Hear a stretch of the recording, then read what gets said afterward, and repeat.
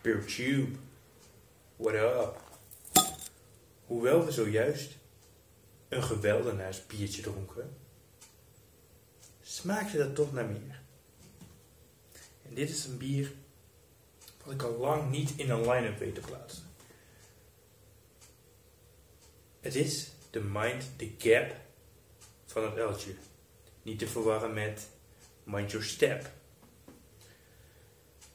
Uit mijn hoofd volgens mij een geijsbokte Imperial Stout. Staat al behoorlijk lang op mijn wishlist. En was net als de dat eigenlijk een Mission Impossible voor. Totdat hij ineens verscheen bij een best wel plaatselijke slijter. Voor een best wel schappelijke prijs. Without further ado, gaan we hem gewoon openmaken en gaan hem proeven. Kijken wat hij doet in de smaak. Wow. Dat heb ik echt nog nooit eerder gehoord in een bier. Leek wel een soort knalkurkje, een soort... Wat je de kermis van die, van die knalerten. Dat geluid. En dat geluid, heel goed. We gaan hem inschenken.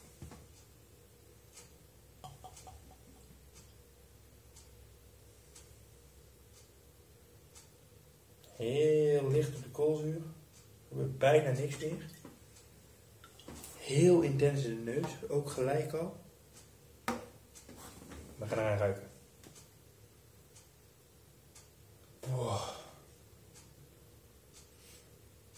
Hij lijkt vrij alcoholisch te zijn. En daarnaast lijkt er een, een koffietouch overheen te zitten, maar ook, ik zou bijna willen zeggen, mandarijnen of sinaasappelschillen, maar dat in een, ik weet dat ze schillen gebruiken voor bieren, maar zo intens.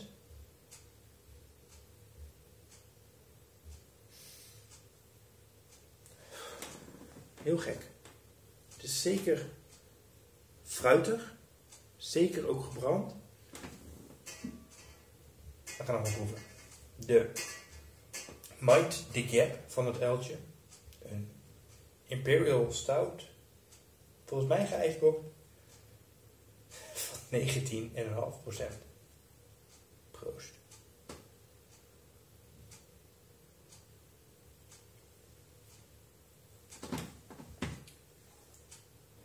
Boah. Ook hier, oh. De, de, slok is mild.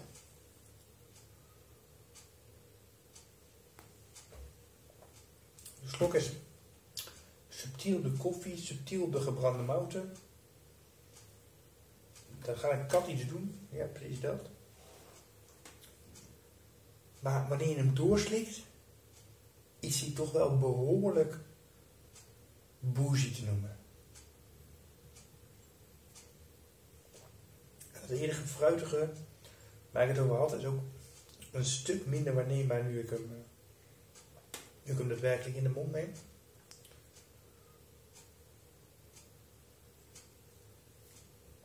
Ik weet hem niet of ik dit per se lekker wil noemen. Het is intens, het is gebrand. Er is zeker een koffietint aanwezig. De neus blijft dat licht, fruitige karakter blijft bestaan, maar in de slok merk ik daar weinig van. En is het echt dat dat, dat gebrande wat de overhand heeft. Echt een hele, hele sterke stout lijkt het voor mij.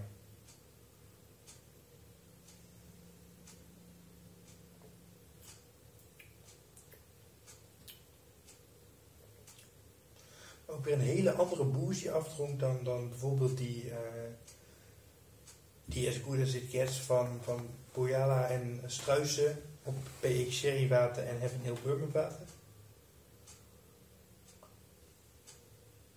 Veel meer zo'n typische stoutachtige alcoholische afdronk.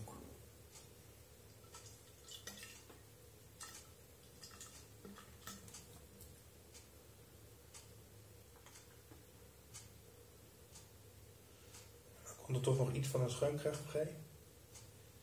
Best wel mooie schuimkracht zelfs. Mooi donker, echt, echt bruin. Denkt van dat, eh, wat is het? Hoe je dat normaal noemt. Ja, uiteindelijk eindigt die toch wel mokka. En nou, nou ziet het er toch wel uit als een appetijtelijk als je het mij vraagt.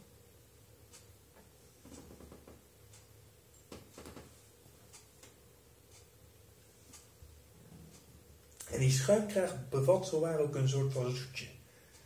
Dus je denkt, hé, zit dat, dat, dat fruitige karakter, die, die lichte sinaasappeltouch, zit die er dan toch in?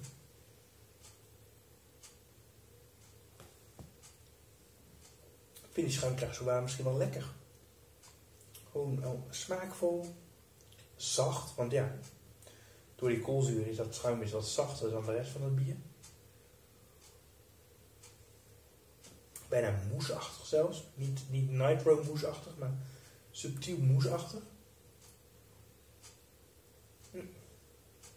En dat is ook echt een want je bent er niet zomaar doorheen.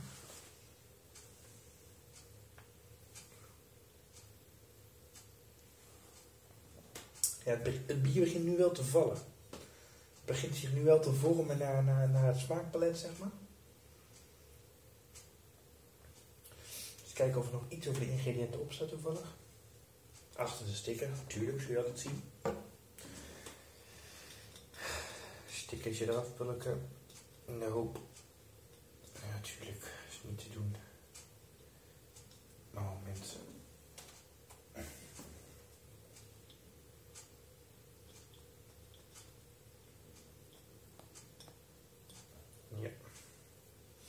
Bier is trouwens houdbaar tot 3 oktober 2022. Een beetje in lijn van het uiltje denkende. Is het dan in 2017 gebrouwen en is het een bier wat 5 jaar houdbaar is? Dus ik ben benieuwd hoe dat zich dan zou verhouden ten opzichte van een verse, een verse unit. Maar we gingen naar de ingrediëntenlijst. Zo. Imperial Double Stout brewed with a massive load of oranges, en maple syrup. Ik moet zeggen, in de CBS van uh, Founders is de maple syrup is zoeter aanwezig, intens aanwezig. Hier vind ik hem wat op de achtergrond. Ik vind het bier niet per se heel zoet. De schuimkraag misschien, maar het bier aan zich niet per se. Dry hopped with Chinook hops. Ga je me nou echt vertellen dat dit bier van 19,8% niet is geijsbokt. Lijkt mij sterk, maar knappe prestatie. Ingrediënten: water, mout, rogge, oranges, sinaasappelschil, maple syrup, koffie, hop en gist. Dus er zit echt een koffie-extract in. Dat verklaart wel waarom die zo intens is op de koffiesmaak, wat mij betreft.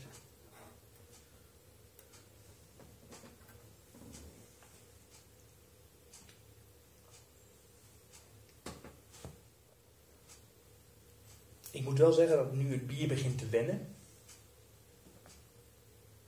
het wel als een complete beleving voelt.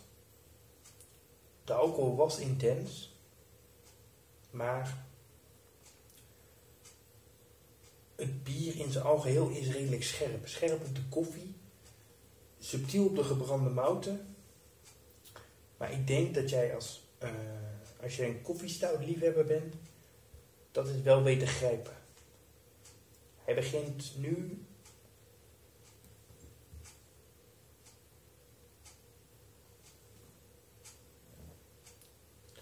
subtiel zoet op de lippen te worden, zonder daarbij echt plakkerig te zijn. Dus het is wel echt dat, dat, dat intense koffiekarakter wat de overhand heeft. Maar als je dus een liefhebber bent van een, van een koffiestout, dan denk ik wel dat dit een bier is wat jou weet te behagen.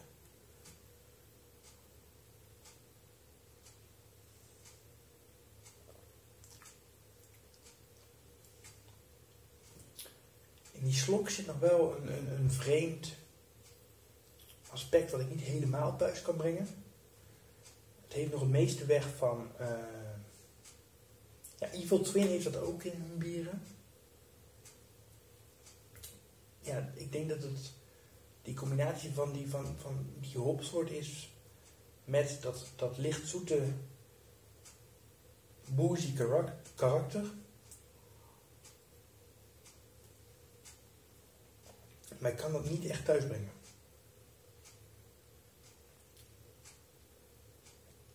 En voor dit bier ga ik het daar ook gewoon laten. Het is zeker een smaakvol, bier. Zeker een intens bier. Wat gewoon echt in mijn beleving een scherpe stout is. Met een licht zoetig aspect. En rest mij nog de prijs. Die valt me dan weer alles mee voor zo'n intens bier. En, en met 19,8% aan alcohol. Ik heb hem voor 5,99 euro bij T-Drinks in Tilburg gekocht. En wat dat betreft is het voor zo'n jetser van een bier echt geen verkeerde prijs. Dus mocht je er nog aan kunnen komen, mocht je van de wat intensere, gebrandere, koffieachtige stout houden, denk ik dat dit zeker een bier voor je is. Mocht je daarin van mening verschillen, hoor je dat natuurlijk graag in de comments. Voor nu zou ik in ieder geval zeggen. Eito. Bedankt voor het kijken. Hopelijk tot een volgende video. Proost.